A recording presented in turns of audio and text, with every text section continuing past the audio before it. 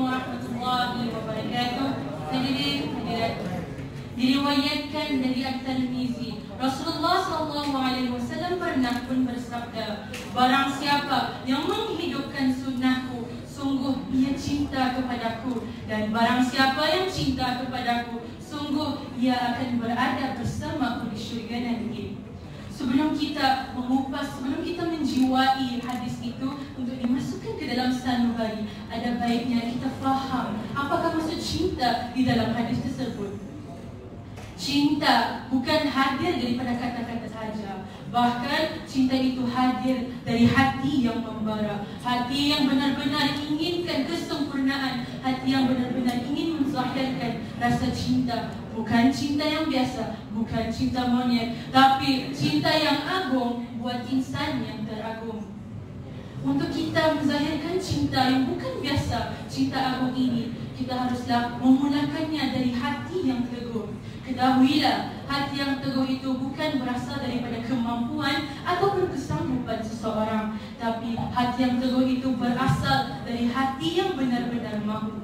Cuba kamu bayangkan, kamu lelah beribadah daripada mempraktikkan sunnah Rasulullah di kehidupan seharian kamu dan menjiwai akhlaknya. Dan satu hari kamu ingin melepaskan selawat sebanyak 10 kali dan kamu tukar menjadi 100, tukar menjadi 1000. Ia memerlukan tenaga yang sebenar-benarnya. Kerana itu, hati yang lelah jika penuh dengan kemahuan, ia akan semula jadinya bertukar menjadi lillah.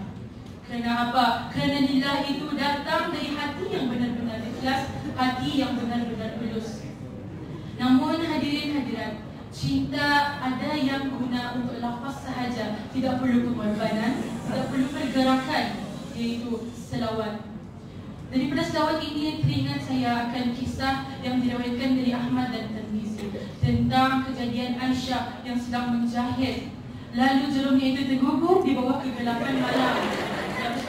Dan kemudian Rasulullah datang ke dalam bilik itu Dengan wajahnya yang bercahaya Lalu Aisyah pun berkata Rasulullah, siapakah di kalangan umatmu yang tidak akan dapat melihat cahayamu nanti di akhirat kelak? Rasulullah pun berkata, siapa di kalangan umatku yang ketika mendengar namaku tidak berselawat kepadaku?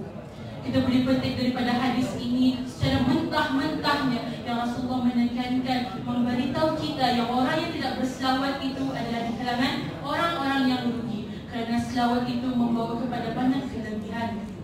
Ini tidak sebahagian daripada kita lalai kita ketika bermain di dunia telah pun menghidangkan kepada kita kelalaian dan kesempurnaan yang kita fikir. Kesempurnaan itu yang kita perlukan. Kesempurnaan yang sebenar-benarnya bukan ada di dunia ia ada di akhirat. Bagaimana bagaimana cara kita untuk mengecapi kesempurnaan itu? Dengan kita mensisakan kehidupan kita di, di dunia ini dengan berselawat ke atas Nabi Muhammad sallallahu alaihi wasallam kerana jika kita berselawat, kita menzahirkan rasa cinta kita kepada Rasul dan secara langsungnya Allah akan mencintai kita. Kerana apa? Kerana kita menzahirkan rasa cinta kita kepada kekasihnya. Ingatlah, jika Allah mencintai kita, tiada ada sebarang benda pun yang dapat membinasakan ataupun merasakan kita maupun di dunia ataupun di akhirat jika dengan keinginan Allah sendiri. Dan jika Allah mencintai kamu, semua benda-benda yang baik akan turut serta bersamamu. Seperti apa? Nikmat kesempurnaan yang saya cakapkan ini adalah nikmat iman. Marilah kita gunakan masa ini untuk kita berselawat ke atas junjungan Nabi Muhammad SAW. Allahumma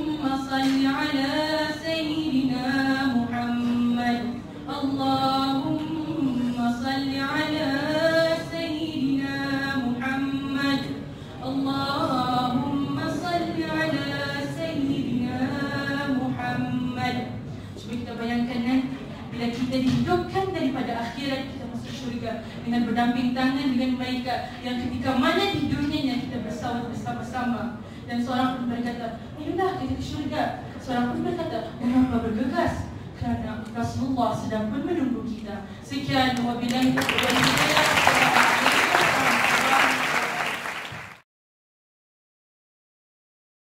Assalamualaikum warahmatullahi wabarakatuh. Di sini saya ingin mengajukan satu soalan yang mana saya ingin bawakan tentang hadis qala Nabi sallallahu alaihi wasallam la ta'ata li makhluqin fi ma'siyatil khaliq. Yang mana artinya tiada ketaatan kepada makhluk dalam hal maksiat kepada khaliq yang ini pencipta. Uh, tolong jelaskanlah apa hadis ini. Terima kasih. Sungguh kita harus menekankan yang 100% ketaatan seorang hamba adalah untuk Allah. Saya ulangi, 100% ketaatan seorang hamba adalah kepada Allah. Dan kedua, ibu bapa ketiga suami ataupun isteri. Jika ibu bapa ataupun suami isteri kamu membawa ke jalan yang mungkar, kamu wajib tidak taat kepadanya. Kerana sesungguhnya orang yang tidak taat kepada perintah Allah adalah bukan orang yang beriman di sisi Allah. Dan jika kamu dikelilingi dengan orang sebegitu, wajib kamu tidak taat kepadanya. Sekian, wabillahi taufiq wal hidayah. Silakan. Bismillahirrahmanirrahim. Assalamualaikum warahmatullahi wabarakatuh. Mau ni uh, Alfu Mubarak. Alhamdulillah uh, satu penyampaian yang cukup menarik. Ya. Uh, pembukaan yang sangat bertepatan dengan tajuk. Alhamdulillah tahniah. Itu juga dengan penutup tadi ada sebelum penutup ada selawat yang mendayu. Jadi uh, yang Ustazah boleh uh, apa kongsikan yang positif uh, ada penggunaan intonasi suara yang bertepatan dengan uh, poin yang disampaikan bagus. Okay, cuma mungkin um, gaya tangan ha, mungkin boleh di macam dibesarkan lagi sikit lah. Cuma cukup Alhamdulillah. Ada dua selingan yang agak menunjukkan ternyata ha, jadi menggelitik hati semua yang di surau lah ha, tahniah Alhamdulillah uh, Ustazah bagi Lima Ambiental.